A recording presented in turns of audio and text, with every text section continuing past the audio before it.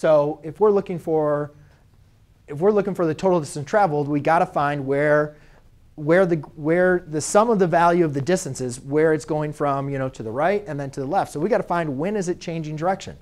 And if we looked at that, the best way we know it about direction is the velocity, looking at the velocity function. And if we look at the velocity function, we know it's positive, then you know, we could say the graph, the particle is moving to the right. And if it's you know, negative, it's moving to the left.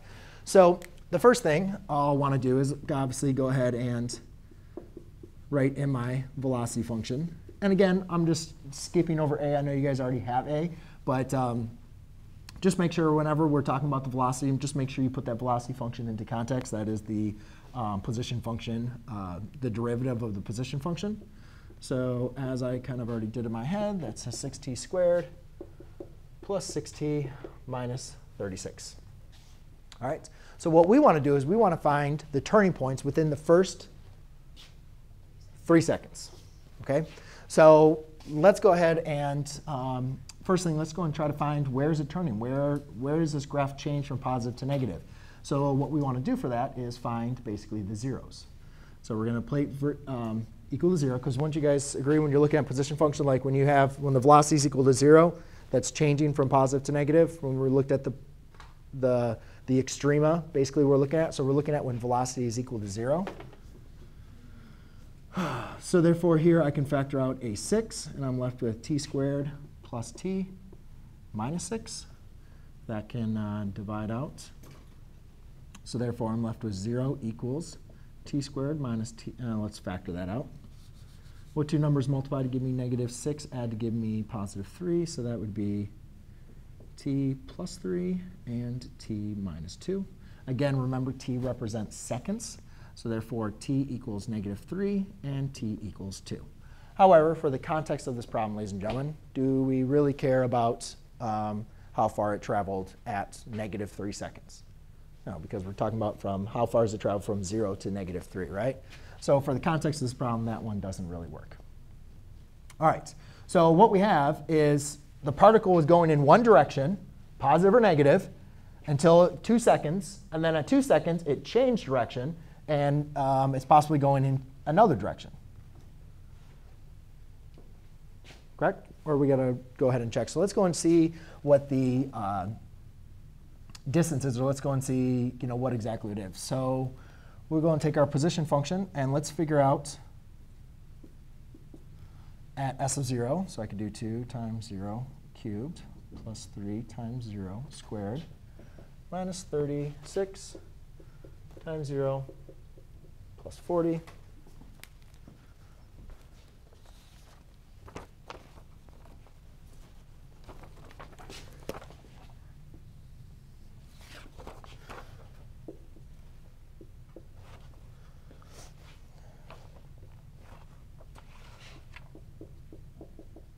So we could say at s of 0 equals 40. Now, um, now we want to go ahead and check in for s of 2. And going in and check in s of 2. Uh, so that's going to be 2 times 2 cubed plus 3 times 2 squared minus 36 times 2 plus 40. So that's 2 cubed is 8, so that equals 16. That's 4, so that's 12. That's going to be a negative 72 plus 40. Uh, so let's do, that goes down to negative 32. That goes down to um, positive 38. So negative 32 minus 38 is going to be a um, negative 32 4 is 8.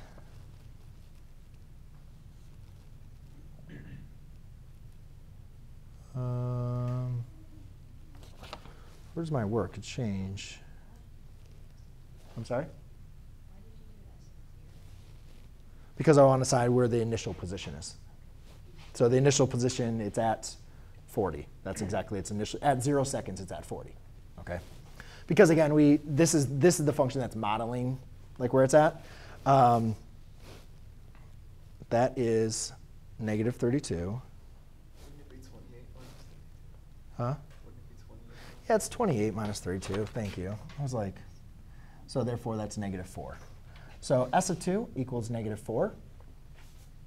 And then last but not least, let's go into finding s of 3. s of 3 is 2 times um, 3 cubed plus 3 times 3 squared minus 36 times 3 plus 40.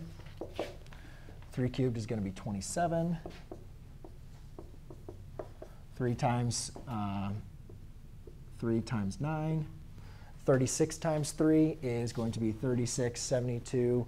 Um, that's going to be 108.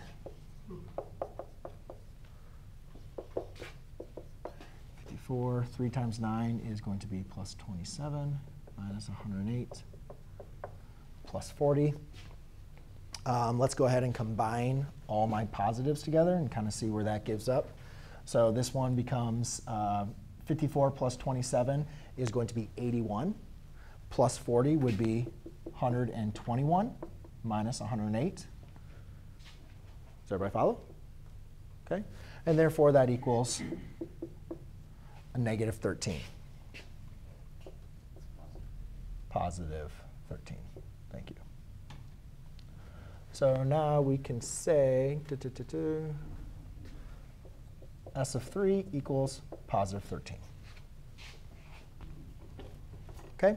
So one thing that we notice is we're going from a um, positive to a negative, and then back over to a negative to a positive. So we can see that the is in fact actually changing, correct? Yes? All right. So now what we need to do is then find, well, how far did it travel from s of 0 to s of 2? How far did it travel? And all we're trying to do is just find the displacement, just find the change. But again, we're trying to find the absolute value. We're not looking for if it's negative or positive. So the total, total distance traveled is going to be the absolute value of negative 4 minus 40 plus absolute value of 13 minus 4.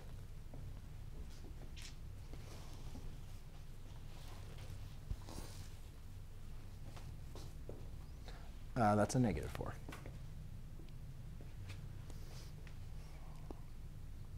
Okay, so negative 4 minus 40 is going to be, absolute value of that is 44. And 13 minus a negative 13 is going to be 17. 44 plus 17 is going to be 63. And then again, we go into, and we're traveling in feet. So we can go 63 feet. How did I get where? 17? It's minus a negative 4. So it's really positive. I forgot to have that 4. Anybody have any questions?